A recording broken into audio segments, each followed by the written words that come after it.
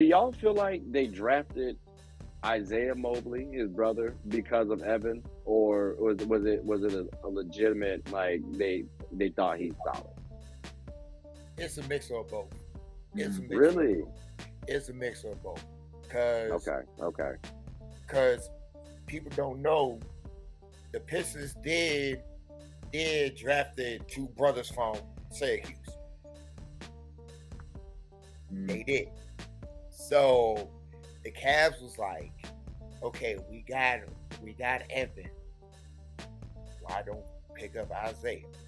And Isaiah is looking real nice in the summer league so Play. far. He can He play. can play. He can play. Mhm. Now, now, now, if he's on the same brother as on the same place as his brother, absolutely not.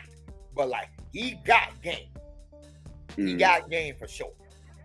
Yeah. uh, he he's the older brother, right? Yeah. Yeah. Evan is the older brother. Yeah.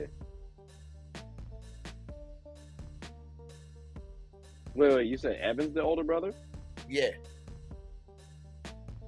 I had that backwards then. I thought Isaiah was the older brother. My bad then. My bad.